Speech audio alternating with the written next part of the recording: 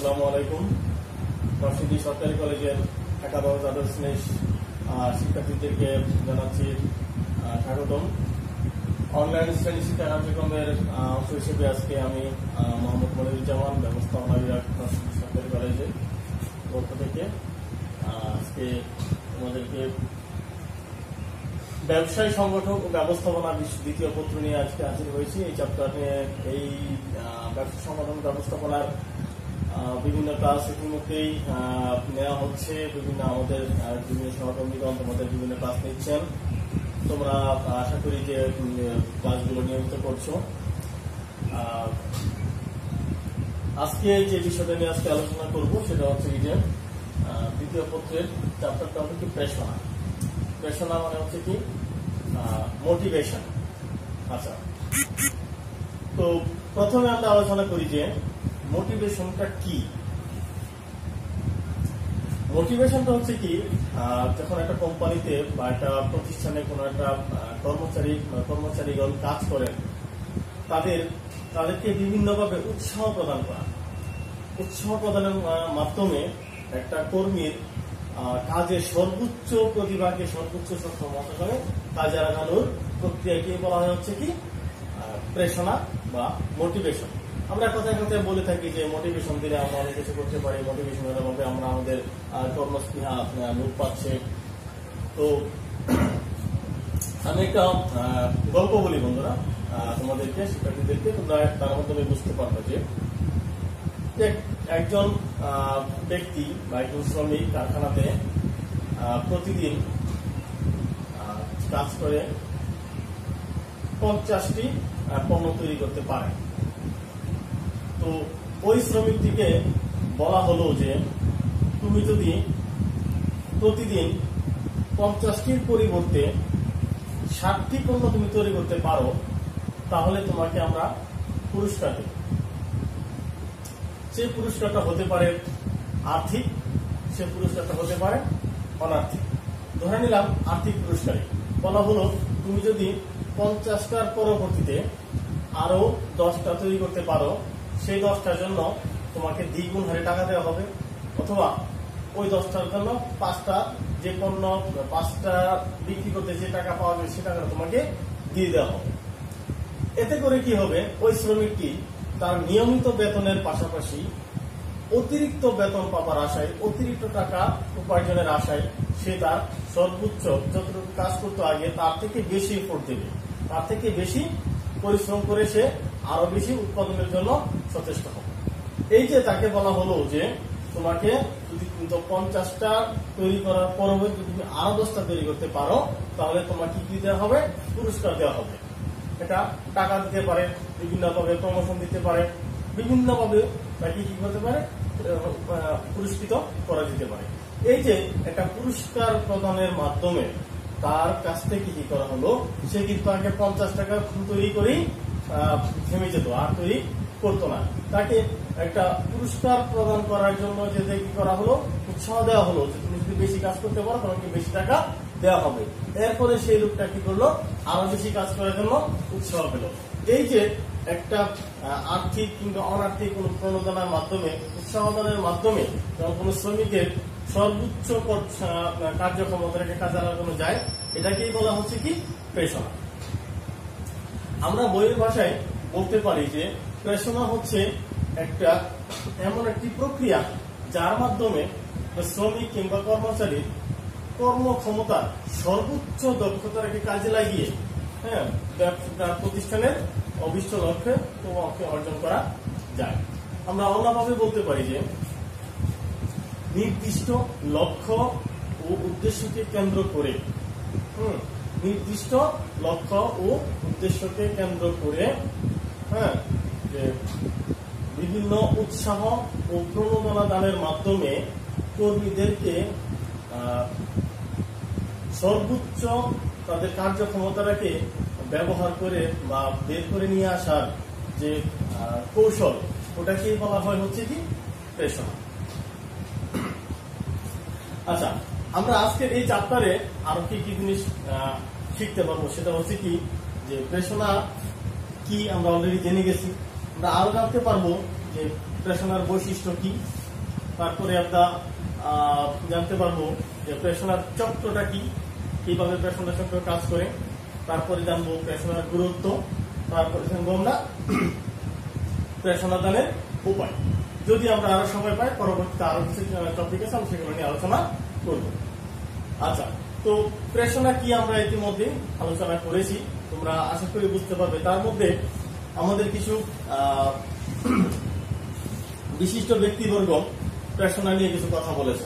তার মধ্যে রবার্ট রেটনার একটা কথা বলেছেন, সেটা হচ্ছে কি, যে motivation refers to psychological process that gives behaviour process purpose and direction অর্থাৎ যে নির্ধারিত উদ্দেশ্য ও নির্দেশনায় আচরণ সৃষ্টির মানসিক প্রক্রিয়াকে বলা হয় হচ্ছে কি? প্রেষণা আমি আগেও আলোচনা করে বলেছি যে যে নির্দিষ্ট উদ্দেশ্য ও লক্ষ্যকে কেন্দ্র করে হ্যাঁ কর্মীদের মনোবল, মানসিক মানসিক আচরণটাকে প্রভাবিত করে যে মানুষ যা চায়, শুধু তাই না, তাকে বিভিন্নভাবে উৎসাহ উৎসাহনের মাধ্যমে, তার আচরণকে প্রভাবিত করার মাধ্যমে তার সর্বোচ্চ কর্মক্ষমতাটাকে বের করে নিয়ে আসাটা হচ্ছে কি? প্রেষণা আমরা একটা সূত্র দেখি যে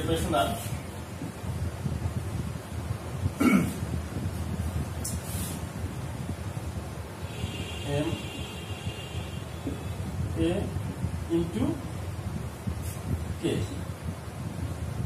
ঠিক আছে? এখানে আরেকটা কাজ করা যেতে পারে। বড় করে লিখি বোঝা যায়। দেখা যাচ্ছিল না মনে হয় একটু বড় করে লিখি হ্যাঁ?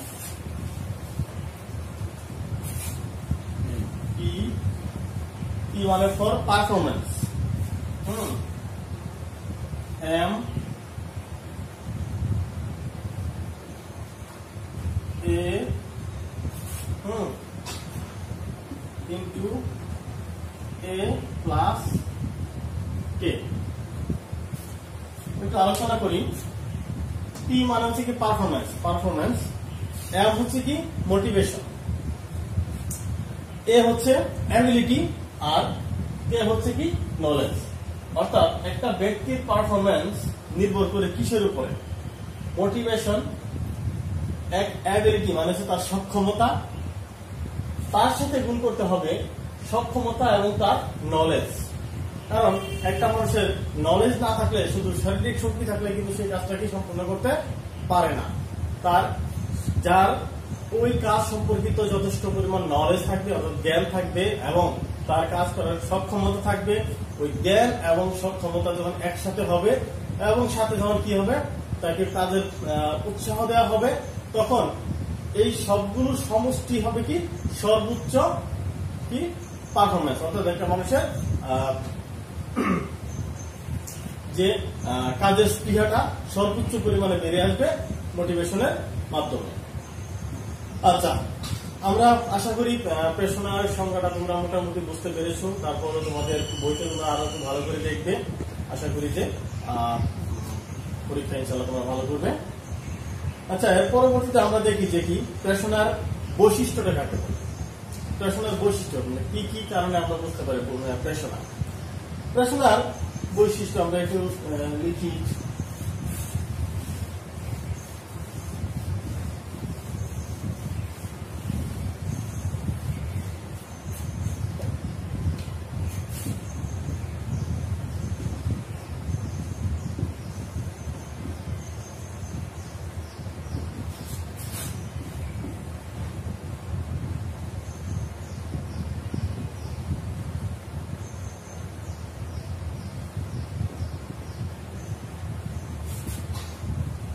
আচ্ছা, লিখব না মনে হয়।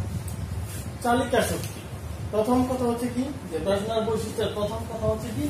চালিকা শক্তি।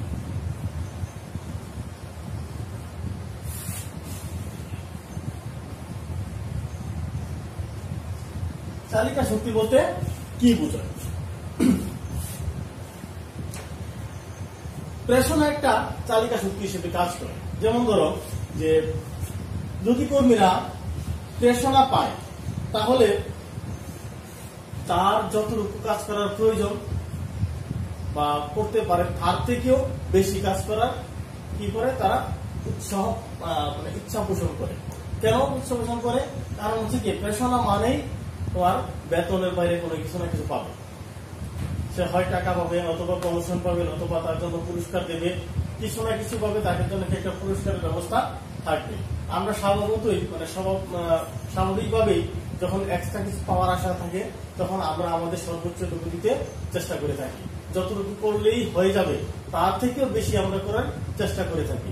এই যে একটা তাড়না থাকে, একটা তাড়না থাকে যে আমি যদি কিছু করতে পারি, যদি অতিরিক্ত কাজ করতে পারি, তাহলে আমি অতিরিক্ত কিছু না কিছু পাবো। এই যে একটা চালিকা শক্তি, এটা কিসের মাধ্যমে পায়? প্রেষণার মাধ্যমে। তারপরে আসো যে মানুষকে প্রভাবিত করে। হ্যাঁ আমি আগে সঙ্গের মধ্যে বলেছিলাম যে মানুষের আচরণকে কি করে থাকে? প্রভাবিত করে থাকে। কীরকম? একটা কর্মী চিন্তা করে থাকে যে দশ, দশটা থেকে চারটা পর্যন্ত ডিউটি করবে। হ্যাঁ তার মাইন্ডসেট থাকে এটাই, তারপরে সে বাসায় চলে যাবে, তার ছুটি হবে। কিন্তু কীভাবে তার মনটাকে মানে প্রভাবিত করে, মানসিক ভাবে প্রভাবিত করে এরকম ভাবে তাকে বলা হয়, দশটা থেকে চারটা পর্যন্ত তুমি যদি চাকরি করো, তাহলে তোমার বেতন যদি হয়ে থাকে দিনে দুইশো টাকা পরবর্তীতে চারটা থেকে ছয়টা পর্যন্ত তুমি দুই ঘণ্টা ডিউটি করবা, তোমাকে এটার জন্য দেওয়া হবে আরও একশো টাকা।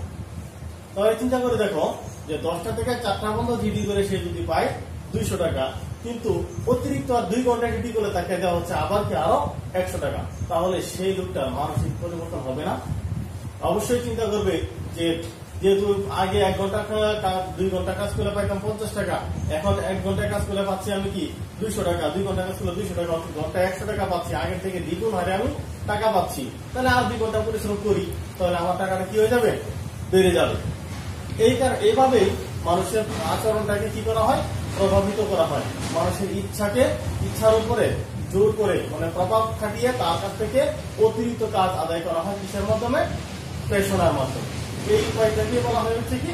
প্রেষণা তারপরে আসো, ধারাবাহিক প্রক্রিয়া হ্যাঁ। প্রেষণাটা ধারাবাহিক। কীরকম বলা হয় যে একটা কাজ শেষ হয়ে গেলেই কিন্তু শেষ নয়। অর্থাৎ প্রেষণা নিয়মিত চলতে থাকে। একটা কর্মী কাজ করলে একটা একদিন কাজ করলে শুধু দুই ঘণ্টা অতিরিক্ত, এর মানে এইটাই শেষ না। তাকে প্রতিদিনই বলা হবে যে, তুমি মাসে তোমার নিয়ম হচ্ছে দশটা থেকে চারটা পর্যন্ত সপ্তাহে ছয় দিন তুমি ডিউটি করবা বা পাঁচ দিন ডিউটি করবা, দশটা থেকে চারটা পর্যন্ত। এটা তোমার নিয়মিত ডিউটি। কিন্তু প্রতিদিনই তুমি যদি কি করতে পারো, দুই ঘণ্টা আলাদা ডিউটি করতে পারো, অতিরিক্ত ডিউটি করতে পারো, তাহলে তোমাকে আলাদা দুইশো টাকা করে দেওয়া হবে। এটা হচ্ছে কি তোমার কন্টিনিউয়াস প্রসেস অর্থাৎ প্রেষণা চলতে থাকবে, একটার পর একটা চলতে থাকবে। এবং সবসময় যে একই ধরনের প্রেষণা দেওয়া হবে, এমনও কথা নেই। কোনোদিন বলতে পারে যে এটা, এই যে দেওয়া হলো যে প্রতিদিন দুশো টাকা করে এক্সট্রা দেওয়া হবে। এরপরে আরও অতিরিক্ত কোনো কিছু থাকতে পারে। থাকতে পারে ভালো খাবার দিতে পারে, ঠিক আছে? তারপরে বিভিন্ন পুরস্কার দিতে পারে, ঠিক আছে? আসা যাওয়ার ব্যবস্থা করে দিতে পারে। আমরা প্রেষণা দানের বিভিন্ন উপায় যখন করাবো তখন দেখতে পারব প্রেষণা দানের কত উপায়ে একজন কর্মীকে প্রেষণা দিতে দেওয়া যায়। আচ্ছা তারপরে কি আসলে? আচরণের ফল। আচরণের ফলটা কি? অবশ্যই আমরা বুঝতে পারছি যে আচরণের ফলটা হচ্ছে যখন নাকি যে কর্মীরা প্রেষিত হন যে যদি বলা হয় যে তোমাকে অতিরিক্ত টাকা দেবো, যখন তাকে তারা কি অতিরিক্ত কাজ করতে রাজি হয়, তাহলে স্বভাবতই প্রতিষ্ঠানের উৎপাদনটা কি হয়ে যায়? বেড়ে যায়। হ্যাঁ প্রেষণাদানের ফলে কি হয়ে যাবে? উৎপাদন বেড়ে যাবে। কারণ একটা ব্যক্তি যদি চারটা পর্যন্ত কাজ করার পরে চলে যেত, তাহলে যে পরিমাণ উৎপাদন হতো হ্যাঁ সে যদি আরও দুই ঘণ্টা কাজ করে যায়, তাহলে তার অবশ্যই অবশ্যই উৎপাদন পরিমাণ বৃদ্ধি পাবে। তাই নাকি? তাহলে আচরণের ফলটা হচ্ছে কি? যে প্রতিষ্ঠানের উৎপাদনের মাত্রা ও উৎপাদনের পরিমাণ বেড়ে যাবে। তারপরে আসি যে মানসিক ভিন্নতার সৃষ্টি। হ্যাঁ এটা আরেকটা বৈশিষ্ট্য। পেশনার আরেকটা বৈশিষ্ট্য হচ্ছে কি? মানসিক আহ, ভিন্নতার সৃষ্টি। আচ্ছা আমরা জানি এক একজন মানুষের এক এক ধরনের পছন্দ। কেউ নগদ টাকা পছন্দ করে কেউ ভালো উপহার পছন্দ করে, কেউ এক একজন এক একটা জিনিস পছন্দ করে থাকতে পারে। তাহলে পেশনার যে তারা প্রদান করে থাকেন, তারা কি করে থাকেন? কর্মীদের মানসিক অবস্থা বুঝে। হ্যাঁ তার কোনটা প্রয়োজন, সেই অনুযায়ী তাকে কি করা হয়? ওই ধরনের প্রেষণা দিয়ে থাকে কারও স্যালারি অনেক বেশি। তাকে তো আর টাকার দিলে সে খুশি হবে না। তাকে বিভিন্ন ভাবে অন্যভাবে খুশি করতে হবে। যেমন ধরো যার স্যালারি অনেক বেশি, সে বলবে, আমার স্যালারি টাকা নেই, আমি অন্য সুবিধা দেয় যেমন তাকে বলবে, তোমাকে আসার জন্য গাড়ি দেওয়া হবে, তোমাকে থাকার জন্য একটা ফ্ল্যাট দেওয়া হবে, ঠিক আছে? তোমার বাসায় বিভিন্ন সুবিধা দিয়ে পাঠানো হবে। বিভিন্ন ভাবে তাকে কি করতে পারে? এক এক যার যেমনটা প্রয়োজন, তাকে সেইভাবে, তার মানসিক অবস্থাকে সেইভাবে কি করে তৈরি করে দেওয়াটা হচ্ছে কি প্রেশনার এবং এটা, এটাও এক ধরনের প্রেশনার বৈশিষ্ট্যের মধ্যে পড়ে। তারপরে আসো যে অভাবের মূল হচ্ছে কি প্রেশন হ্যাঁ পেশনার আরেকটা বৈশিষ্ট্য হচ্ছে অভাব থাকতে হবে।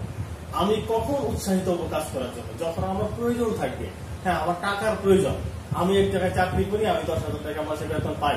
হ্যাঁ এখন আমার টাকার প্রয়োজন আছে তখন আমাকে যদি অফার করা হয় যে তুমি যদি আর এক ঘণ্টা, দুই ঘণ্টা বেশি কাজ করতে পারো, তোমাকে আমরা আরও বেশি টাকা দেবো। আমার টাকার প্রয়োজন যখন থাকবে, তখনই আমি ওই টাকাটা পাওয়ার জন্য বেশি কাজ করব, আরও বেশি উৎসাহিত হব। যখন আমার টাকার প্রয়োজন থাকবে না, আমার কোনো অভাব নেই, আমার কোটি কোটি টাকা, তাহলে কি আমাকে যদি বলে, আপনি বেশি কাজ করেন আপনাকে বেশি টাকা দেওয়া হব? তখন তো বলব আমার নিজের টাকার অভাব নেই, আমি কি আর একটা কাজ করব কেন? যতটুকু যথেষ্ট। ঠিক না? তাহলে অভাব থাকতে হবে। অর্থাৎ যারা কাজ করবেন, শ্রমিক, কর্মচারী বা যে ব্যক্তিকে প্রেষিত করা হবে, তার অভাব থাকতে হবে। সেই অভাবটাই হচ্ছে কি? প্রেষণার মূল। যার অভাব নাই, তাকে প্রেষণা দান করা কোনোভাবেই সম্ভব না। ঠিক না? যেমন একটা ছোট্ট একটা উদাহরণ দিই, যদি ছোট বাচ্চাদের কথা বলি। তাদের যখন পেটে কি ক্ষুধা থাকে বা কোনো কিছু খাওয়ার ইচ্ছা থাকে, তখন তাকে যদি বলা হয়, তোমাকে এটা দেবো, তুমি ওই কাজটা করে দাও। তাহলে কিন্তু সে সাথে সাথে ওই কাজটা করে দেয়। আর যখন তার ওই অভাবটা থাকে না, তার এখন কি পেটে পেট ভরা থাকে বা তার কাছে ওইটার প্রয়োজন থাকে না, তখন ওই কাজটা করতে বলে কি, সেই কাজটা কি করতে চায় না। তো মূল কথা হচ্ছে কি এটা? অভাব। অভাব যখন না থাকবে তখন মানসিক কোনো কাজ করতে পছন্দ করবে না। আচ্ছা তারপরে আমরা একটা বিষয় যেটা বলছি হচ্ছে কি, মনোবল উন্নয়ন। পেশনা যে কাজটা করে থাকে অন্যতম যেটা বৈশিষ্ট্য মনোবল উন্নয়ন একটা একটা শ্রমিক বা কর্মচারীর মানসিক অবস্থাটাকে কি করে থাকে, উন্নতি ঘটিয়ে থাকে। তখন তারা চিন্তা করে যে, আমি যখন পরিশ্রম করলেই আমি যখন টাকা, অতিরিক্ত টাকা পাচ্ছি, তাহলে আমার পরিশ্রম করলে তো কি নাই? কোনো ক্ষতি নেই। তাহলে আমি পরিশ্রম করতে রাজি আছি। এই যে মানুষের একটা, মানসিক একটা শক্তি আছে তার মধ্যে হ্যাঁ আমি যখন, যতই পরিশ্রম করব, ততই আমি কি করব? টাকা পাবো। হ্যাঁ আমি সুবিধা পাবো। এই জন্যই তারা কি করতে পারে যে, মনোবলটাকে শক্ত করে আরও কি করতে পারে? মনোযোগের সাথে কাজ করতে নিয়োজিত হতে পারে। তারপর হচ্ছে কি, ব্যবস্থাপনার প্রয়োগ। ব্যবস্থাপনায়, আমরা জানি ব্যবস্থাপনার মধ্যে পেশনাটা সবচেয়ে বেশি ব্যবহার করা হয়ে থাকে। একজন ব্যবস্থাপক বা কোম্পানি যারা চালান, যারা সিদ্ধান্ত গ্রহণ প্রণেতা, যারা পরিকল্পনা গ্রহণ করার সিদ্ধান্ত নেন। তাদেরকেই এই পেশনাটাকে কি করতে হয়? প্রয়োগ করতে হয়। তারা প্রতিষ্ঠানের অবস্থা বুঝে, উৎপাদনের ধরন বুঝে, চাহিদা বুঝে, তারপর চাহিদার মাত্রা বুঝে যে কখন বেশি চাহিদা, কখন কম চাহিদা। দেখা যাবে যে হঠাৎ করে প্রেশার বেশি পড়ে গেছে, অধিক পরিমাণ উৎপাদন প্রয়োজন, কিন্তু আমাদের ক্যাপাসিটি বৃদ্ধি করা সম্ভব না। তখন ব্যবস্থাপক যারা থাকে, তারা চিন্তা করে যে আমাদের যে সমস্ত শ্রমিক কর্মী আছে, যে সমস্ত মেশিন আছে, এইগুলাকেই ব্যবহার করেই আমরা কীভাবে আরও বেশি উৎপাদন বৃদ্ধি করতে পারব, কীভাবে আমরা আরও সর্বোচ্চ কাজটাকে আদায় করে নিতে পারব, সেইগুলোকে ব্যবস্থাপকরা ব্যব- কি করে থাকে সিদ্ধান্তটা নিয়ে থাকে।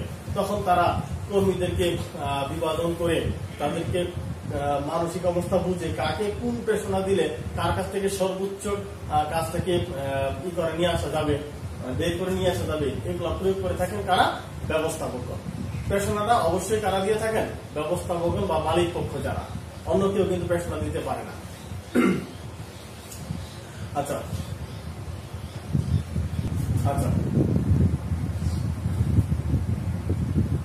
আমরা এই পর্যায়ে তোমাদের জন্য যে বিষয়টা আলোচনা করব সেটা হচ্ছে যে কি? যে প্রেষণার চক্র।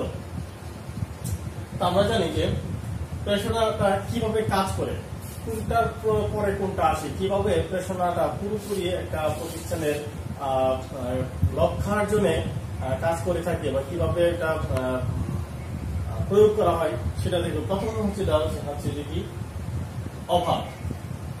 মূল কথা হচ্ছে কি যে শ্রমিক কিংবা কর্মীর অভাব বোধ থাকতে হবে। হ্যাঁ যখন একটা শ্রমিক বা কর্মী অভাব বোধ করবে অভাবটা আসবে থেকে প্রয়োজন থেকে। হ্যাঁ আমরা একদিন ক্লাসের মধ্যে আলোচনা করেছিলাম যে কি কি, যে অভাব প্রয়োজন, অভাব, তারপর হচ্ছে কি চাহিদা হ্যাঁ তারপর হচ্ছে কি ভোগ, এই বিষয়গুলো কি করেছিলাম, আলোচনা করেছিলাম। প্রথম হচ্ছে কি, যে প্রয়োজন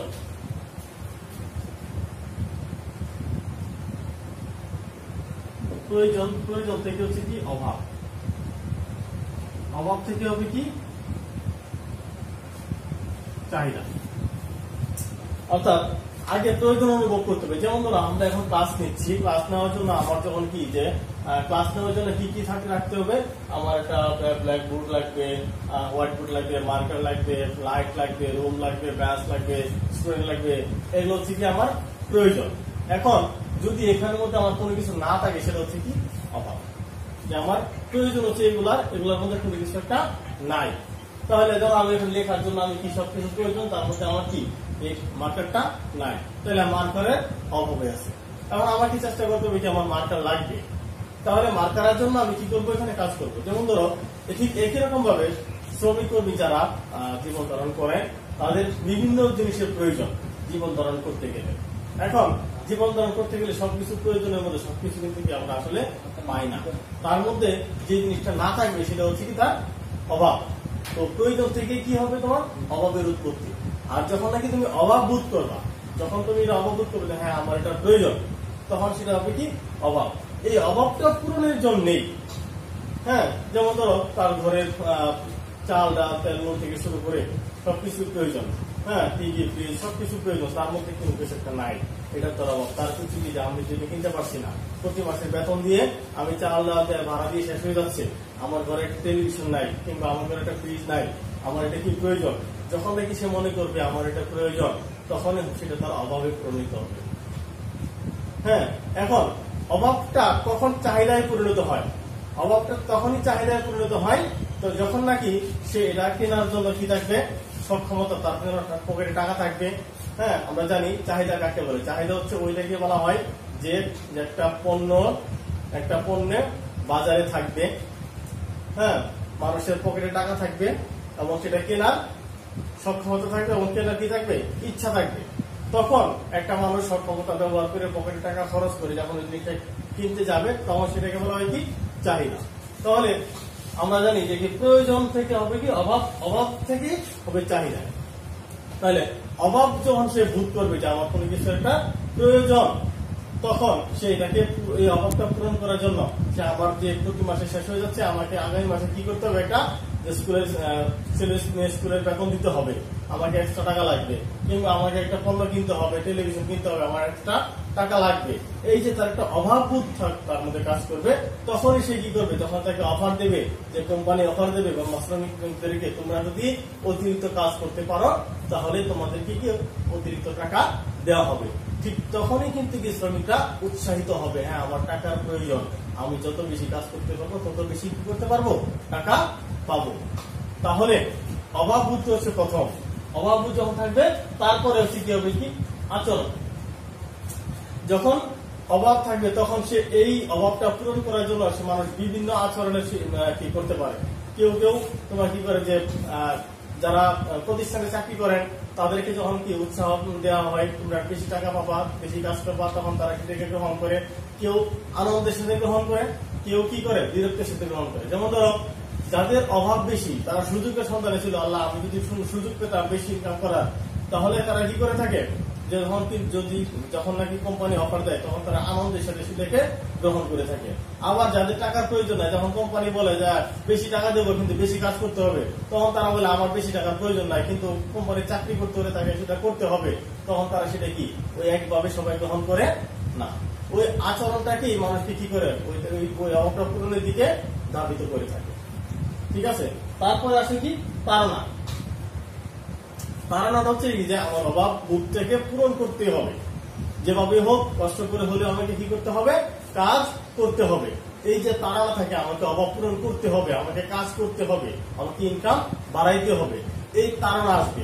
যখন নাকি অভাব থাকবে, তারপর অফার পাবে, তারপর সেটা আচরণের মাধ্যমে গ্রহণ করবে, এক একজন এক রকম আচরণের মাধ্যমে, তারপর সেটা কি হবে? তারা থাকবে তার মধ্যে। হ্যাঁ আমাকে এটা লক্ষ্যটা পূরণ করতে হবে, আমাকে অতিরিক্ত উৎপাদন করতে হবে, অতিরিক্ত আমার কাজ আমাকে করতে হবে। এই তারা তার মধ্যে কি? আসবে। এই তারা যখন তার মধ্যে আসবে, তখন এই তারানার মাধ্যমে সে কি করবে? অভাবটাকে সে কি করবে? পূরণ করবে। সে অতিরিক্ত কাজ করবে, অতিরিক্ত ইনকাম করবে ইনকামের মাধ্যমে সে কি করবে? তার অভাবটাকে কি করবে? পূরণ করবে। এই যে দেখো, কর্মীর অভাব ছিল, কর্মীর আচরণের মাধ্যমে, তাড়নার মাধ্যমে কর্মীর অভাব পূরণ করা হইল। আলটিমেটলি কাজটা কি হইল? তার কাজটা ছিল কি? ব্যবস্থাপক অর্থাৎ মালিক পক্ষের লক্ষ্য কি ছিল? যে কর্মীদেরকে পেশমাদানের মাধ্যমে, অতিরিক্ত কাজের মাধ্যমে তার অতিরিক্ত উৎপাদন করিয়ে তাদের লক্ষ্য উপার্জন করা। তাদের লক্ষ্যটা কি? অর্জন করে নেয়। যেমন ধরো, একটা কোম্পানি প্রতি মাসে এক হাজার ইউনিট উৎপাদন করে থাকে। হ্যাঁ এখন তাদেরকে এমন একটা অফার দেওয়া হয়েছে তাদেরকে অর্ডার করছে বারোশো ইউনিটে। এখন এই বারো, দুইশো ইউনিট উৎপাদন করার জন্য তারা নিশ্চয়ই নতুন কোন একটা সেক্টর খুলে বসবে না। তারা কি করল? যে সমস্ত লোকজন এখানে চাকরি করতেছে, কাজ করতেছে, শ্রমিক আছে, ওই মেশিন ওই কাগজ, ওই শ্রমিক ব্যবহার করেই তাদেরকে একটু অতিরিক্ত স্যালারি বাড়াই দিয়ে তাদেরকে একটু উৎসাহ প্রদান করার মাধ্যমে, তাদেরকে প্রেষণা মাধ্যমে করল কি? যে দুইশো ইউনিট বেশি উৎপাদন করে নিল তাদের মাধ্যমেই। ফলে তাদের কি হয়ে গেল? লক্ষ্যটা অর্জন হয়ে গেল। তাহলে প্রেষণা চক্রটা কীভাবে কাজ করছে? প্রথমে শ্রমিকদের অভাব থাকবে, আচরণ করবে। অভাব অনুযায়ী তারপরে তারা থাকবে। অভাব পূরণের জন্য তারানার মাধ্যমে সেটা অভাবটা পূরণ করবে। হ্যাঁ আলটিমেটলি প্রতিষ্ঠানের লক্ষ্যটা কি হবে? অর্জিত হবে। এটাই ছিল কি প্রেষণার চক্র। ওকে আশা করি তোমরা ভালো করে বুঝতে পারছ। বাসায় আরও পড়াশোনা করবা, আরও ভালো করে বুঝতে পারবা। আমরা এখন পরের একটা টপিক আলোচনা করছি। ওকে সুপ্রিয় শিক্ষার্থীরা, এই মুহূর্তে আমরা তোমাদেরকে যেটা বিভিন্ন পদ্ধতি। অর্থাৎ শ্রমিক কর্মীদেরকে বিভিন্নভাবে প্রেষণা দেওয়া হয়। তার মধ্যে একটা পদ্ধতি হচ্ছে কি, আর্থিক, অর্থাৎ তাদেরকে অর্থনৈতিক সুবিধা দেওয়া। হচ্ছে কি, অনার্থিক, অর্থাৎ টাকা পয়সা দেবে না, কিন্তু অন্যান্য সুযোগ সুবিধা দেওয়া। আমরা এটা ব্যবস্থাপক সিদ্ধান্ত নিয়ে থাকেন কখন, কীভাবে কোন ধরনের পেশনা দিয়ে থাকবেন সেটা ডিপেন্ড করে হচ্ছে প্রতিষ্ঠানের কাঠামো, শ্রমিকদের অবস্থা, তারপর হচ্ছে উৎপাদনের ধরন, তারপর হচ্ছে শ্রমিকদের সব শ্রমিককে এক সবসময় এক ধরনের পেশনা দেওয়া হয় না।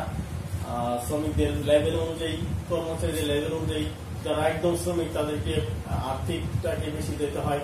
আবার কখনো কখনো অনার্থিক কিছু দিতে হয়, আবার কখনো কখনো দিতে মিশ্রণ করে দিতে হয়। এটা নির্ভর করে হচ্ছে কি ব্যবস্থাপন বিভিন্ন অবস্থার উপর পর্যালোচনা করে সিদ্ধান্ত নিয়ে থাকেন যে শ্রমিকদেরকে কোন ধরনের প্রেষণা দিলে সবচেয়ে বেশি কার্যকর।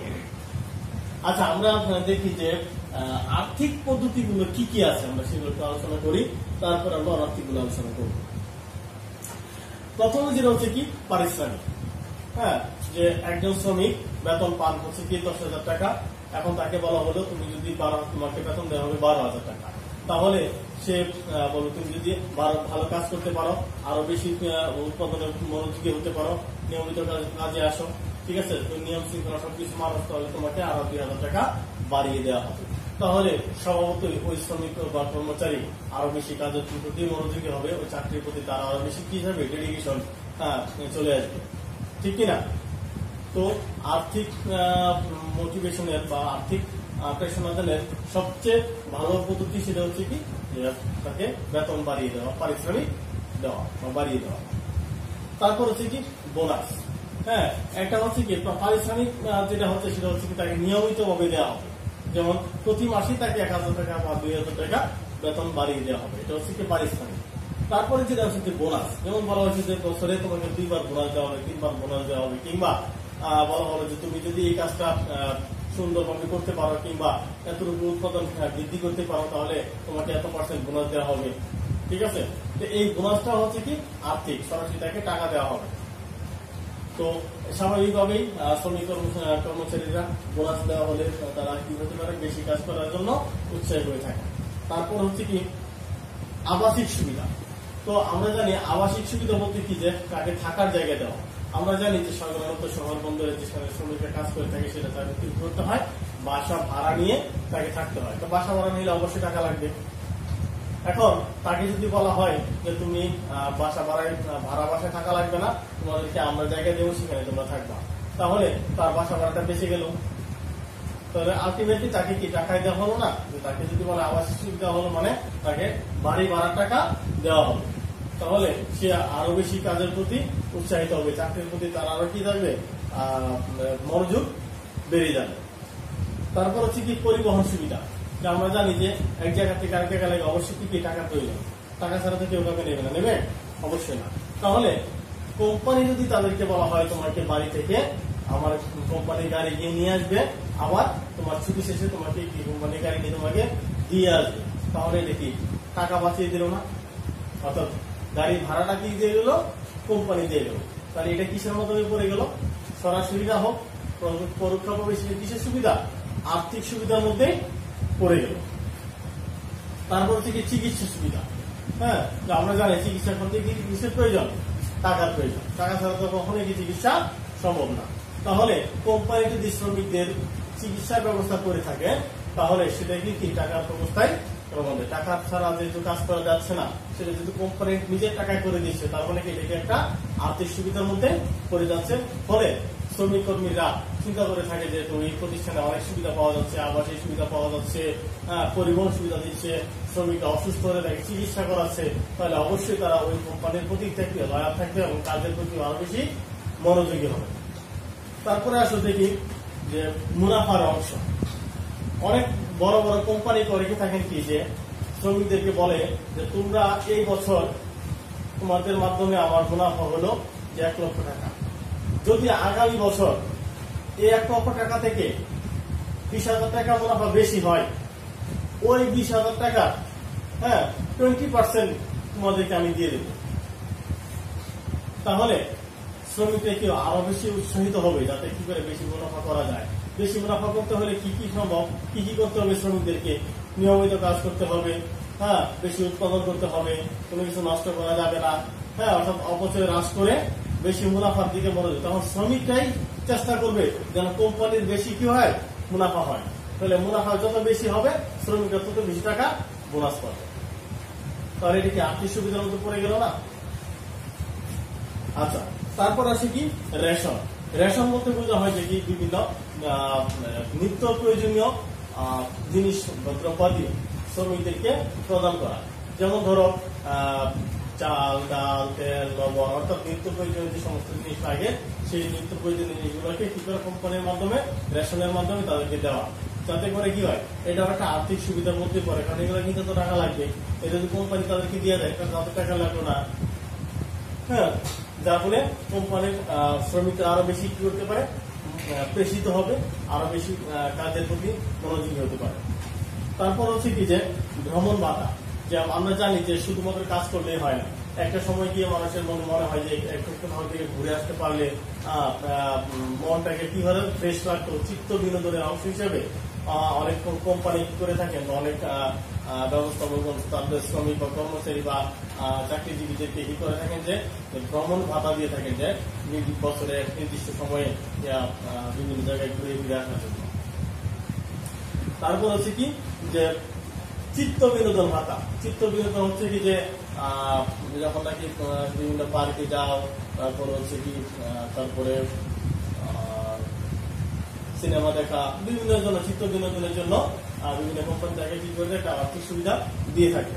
তারপর হচ্ছে কি শিক্ষা ভাতা, যে শ্রমিক কর্মচারীদের যাদের সন্তান আদি করে থাকে বিভিন্ন জায়গায় লেখাপড়া করে থাকে, তাদের শিক্ষার জন্য, শিক্ষা ব্যয়ের জন্য তাদের স্কুলের খরচ বাবদ তাদেরকে শিক্ষা ভাতা দেওয়া হয়ে থাকে। তারপর হচ্ছে কি, যে বিমা ভাতা আমরা জানি মানুষের প্রত্যেকটা মানুষের জীবনে কি ঝুঁকির সম্মুখীন। যেমন কি শ্রমিক কর্মচারী যারা গার্মেন্টস কিংবা প্রতিষ্ঠানে চাকরি করে থাকেন, তাদের জীবন আরও বেশি ঝুঁকির সম্মুখীন। এই জন্যে কোম্পানির অনেক কোম্পানি করে থাকেন যে তাদেরকে তাদের জীবনটাকে কি বিমার আওতায় হয়। যদি তারা ক্ষতিগ্রস্ত হয় দুর্ঘটনার শিকার হন কিংবা কেউ মারা যায়, তাদের তাদের কি করা হয়? বীমা কোম্পানি থেকে তাদেরকে ক্ষতিপূরণ দেওয়া হয়। এই ক্ষতিপূরণের জন্য বীমা কোম্পানিকে যে একটা চাঁদা দিতে হয় যে টাকাটা দিতে হয় বীমা ভাতা হিসেবে, ওইটা কোম্পানি প্রদান করে থাকে। ফলে এটা একটা আর্থিক সুবিধার মধ্যে অন্তর্ভুক্ত আর্থিক পেশনাদানের অন্তর্ভুক্ত। তারপর হচ্ছে কি, উৎপাদন বোনাস অর্থাৎ উৎপাদন বোনাসটা বলা হয় যে আগে উৎপাদন করতে তুমি কি এক হাজার ইউনিট এখন যদি তোমরা এক হাজারের উপরে যে একশো ইউনিট বেশি উৎপাদন করতে পারো, ওইটার উপর তোমাকে আরও বেশি কি বোনাস দেওয়া হবে। অর্থাৎ উৎপাদন যত উৎপাদন বেশি করতে পারবে, তত তোমাদের কি দেওয়া হবে? বোনাস দেওয়া হবে। এটা হচ্ছে কি? উৎপাদন বোনাস। তারপর হচ্ছে কি? অর্জিত ছুটি। অর্জিত ছুটি হচ্ছে কি? যে কোম্পানির আইন অনুযায়ী কিংবা দেশের শ্রমিক আইন অনুযায়ী প্রত্যেক শ্রমিক প্রতি বছরে একটা নির্দিষ্ট পরিমাণ ছুটি পাবে। যেমন ধরো সরকারি কর্মকর্তা কর্মচারী যারা বলা হয় যে বিশ দিন ছুটি পাবেন। ঠিক আছে? তারপরে আরও আছে বিভিন্ন ছুটি। ওই ছুটিগুলো যদি তারা ভোগ না করে থাকে, তাহলে ওই ছুটি না কাটিয়ে যদি সে এখানে কাজ করে থাকে, তাহলে তাকে এই ছুটিগুলোকে কি করতে হবে? টাকা দিতে হবে। কিংবা ওই ছুটির দিন তাকে ছেড়ে দিতে হবে। এই জন্য বলা হয় যে কি, অর্জিত ছুটির বিনিময়ে যদি কেউ টাকা নিয়ে থাকে, সেটা একটি আর্থিক সুবিধার মধ্যে পড়ে যায়। তারপর কি জীবন ধারণ ভাতা। অনেক সময় দেখা যায় যে কর্ম শ্রমিক কর্মচারী যে বেতনে চাকরি শুরু করে দেন, আর নির্দিষ্ট সময় পরে বা বছরের পর বছর বেতন একই রকম থাকলেও কিন্তু বাজারে পণ্যের দাম বেড়ে যায়। তখন তাদের কি করতে হয় যে জীবন ধারণের সাথে খাপ খাওয়ানোর জন্য বিভিন্ন ভাতা দেওয়া হয়। এটা হচ্ছে কি জীবন ধারণ ভাতা। এগুলো কি আর্থিক সুবিধার মধ্যে পড়ে যায়? হ্যাঁ। এছাড়া আরও রয়েছে বিভিন্ন ধরনের ভাতা, যেমন বিবাহ ভাতা তারপর হচ্ছে শিক্ষাবৃত্তি তারপর হচ্ছে নগর ভাতা ঋণ সুবিধা এই ধরনের আর্থিক সুবিধাদি প্রতিষ্ঠান শ্রমিক কর্মচারীদের দিকে দিয়ে থাকে। এছাড়াও রয়েছে কিছু অনার্থিক পদ্ধতি যেগুলো সরাসরি টাকা দেওয়া হয় না কিন্তু বিভিন্নভাবে সুযোগ সুবিধা দেওয়া হয়। যেমন হচ্ছে কি পদোন্নতি। হ্যাঁ পদোন্নতি অর্থাৎ একজন মানুষকে যখন কি আহ, শ্রমিকের নিয়মিত ভালো কাজের পুরস্কার হিসেবে তাদেরকে পদোন্নতি দেওয়া হয়। পদোন্নতি মানে তাকে উপরে র্যাঙ্কে দেওয়া উপরে র্যাঙ্কে দেওয়া হয় তাকে অবশ্যই তার সুযোগ সুবিধা বিভিন্নভাবে বেড়ে যায়। মানে পদোন্নতি মানে তাকে তার সাথে আহ, সম্মান বেতন আরও অন্যান্য সুবিধাগুলি সবকিছু তার বৃদ্ধি পাবে তারপর আছে কি? সুন্দর পরিবেশ। একটা শ্রমিক কর্মচারী বা কর্মচারী যারা একটা প্রতিষ্ঠানে কাজ করে তাদের যদি কাজের একটা সুন্দর পরিবেশ থাকে তাহলে তারা কাজ করতে আনন্দ পায়। সুন্দর পরিবেশ ঝকঝকে পরিবেশ, আলো বাতাস হ্যাঁ? তারপর হচ্ছে কি পরিষ্কার পরিচ্ছন্নতা, সবকিছু শ্রমিক কর্মচারীদের কাজের উৎসাহ অনেক প্রায় বাড়িয়ে দেয়। কাজ, কাজের পরিবেশ কাজের জায়গাটা যদি নোংরা থাকে অপরিষ্কার, অপরিচ্ছন্ন হয় তাহলে সেখানে কাজ করে নিশ্চিত মজা পাওয়া যাবে না। আমরা যেখানে ক্লাস নিচ্ছি বা তোমরা যেরকম ক্লাস করছ, সেখানে যদি কি থাকে, নোংরা থাকে দুর্গন্ধ থাকে, তাহলে সেখানে ক্লাস করে কিংবা ক্লাস নিয়ে নিশ্চয়ই কি কোনো ধরনের মজা পাওয়া যাবে না কাজ করতে বিরক্তি আসবে বা ঠিক তেমনি ভাবেই যে কোনো কাজের জন্য কাজের পরিবেশটা সুন্দর হওয়া চাই তারপর আসি যে কি? যে নিরাপত্তা। অবশ্যই কর্মক্ষেত্র থাকতে হবে, নিরাপদ। যেখানে কাজ করছে সেখানে যেন আমি এরকম জায়গায় কাজ করছি, যে বিল্ডিং আমার পড়ে যাচ্ছে যাচ্ছে ভেঙে যাচ্ছে, কিংবা আমার মাথার উপরে এসে বাস করছে কিংবা অন্য কিছু পড়ে যাচ্ছে হ্যাঁ? তা এরকম হলে তো হবে না। আমার কার- কর্মক্ষেত্রটা হতে হবে কি নিরাপদ। আমি যেখানে দাঁড়িয়ে কাজ করব, যেখানে বসে কাজ করব, সেখানে আমি আমার জীবনটা নিরাপদ থাকবে, আমার সবকিছু থাকবে আমার নিরাপদ থাকবে। তারপর হচ্ছে কি যে, তো আনন্দদায়ক কাজ, যে কাজের মাধ্যমেও কি আনন্দ দেওয়া যায়।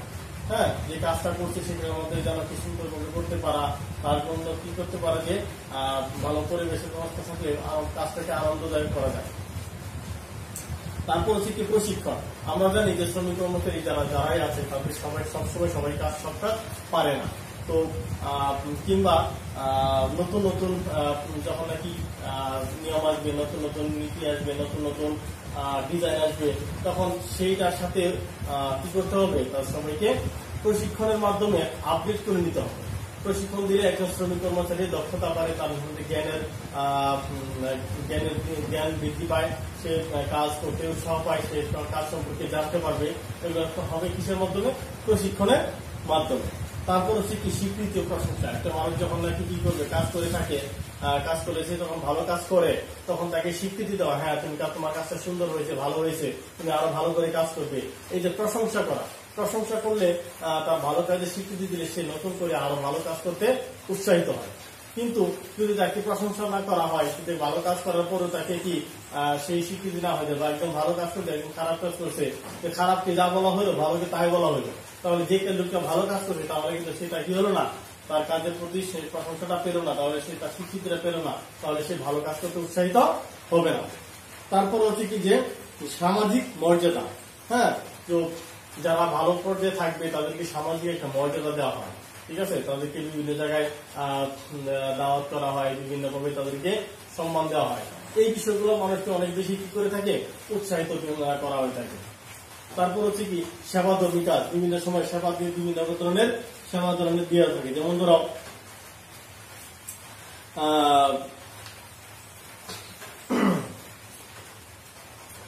ক্ষমতা ও প্রভাব। ক্ষমতা প্রভাব হচ্ছে কি? মানুষের মানসিক একটা চরম একটা বিষয়। কারণ, মা, সবাই চায় তার মধ্যে কিছু ক্ষমতা থাকুক, কিছু প্রভাব বিস্তার করতে পারো নিজেকে অন্যের উপর।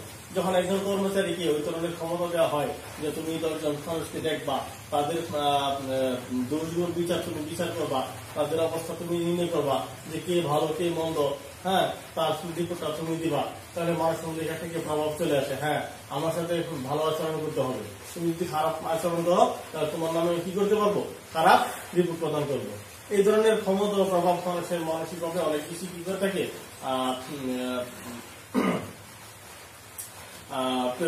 প্রেষিত করে থাকে। তো তারপর হচ্ছে কি শিক্ষা ছুটি। একজন কর্মকর্তা বা কর্মচারী যদি শিক্ষার জন্য ছুটি চায় তাহলে তাকে কি করতে উচিত যে কর্মচারীদের শিক্ষার জন্য ছুটি দেওয়া উচিত।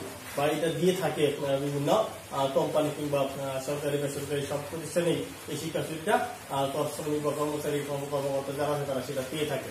এর মাধ্যমে তারা কি করতে পারে যে নতুন নতুন কিছু শিখে আসতে পারে নিজের যোগ্যতা বৃদ্ধি করতে পারে। তো এইগুলো হচ্ছে একটা কোম্পানির অনার্থিক পদ্ধতি। আমরা আজকের মতো এখানে শেষ করব। যে আমরা দানের বিভিন্ন পদ্ধতি, বিভিন্ন বিষয় নিয়ে আলোচনা করেছি। তোমরা এই বিষয়গুলোকে বাসায় আরও পড়বা। বুঝতে সমস্যা হলে কমেন্ট বক্সে জানাবা। ইনশাল্লাহ আমরা চেষ্টা করব সমাধান দিতে। সে পর্যন্ত পরবর্তী ক্লাসের অপেক্ষায় সে পর্যন্ত ভালো থাকো। আল্লাহ হাফিজ।